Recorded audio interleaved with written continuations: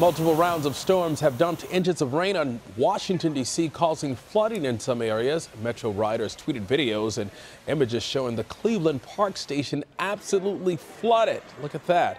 The station closed down Tuesday evening, and shuttle buses are available.